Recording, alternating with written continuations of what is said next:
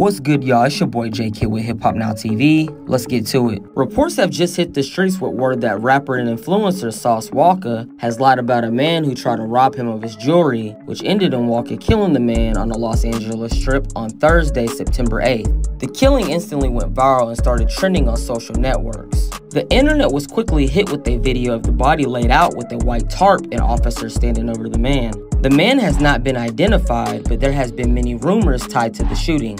The family members of the man who Walka supposedly shot told the police that the two men got into an altercation, where Salsa then pulled out a handgun and fired at the man, leaving him laid in the pavement. This comes after Salsa originally said that it was in self-defense from the man trying to rob him of his jewelry. There has also been reports of the man not being killed by Walka at all and him lying about his involvement. It's said that there is no name on the shooter because Walka didn't kill anyone at all. The body was already there and the victim was killed by a gunman running the street. A viral video shows the victim was actually shot outside of his own apartment by a whole other man minutes before Walka appeared by Spring and 7th in downtown LA. He went on Instagram making claims of the murder, but many are now questioning him.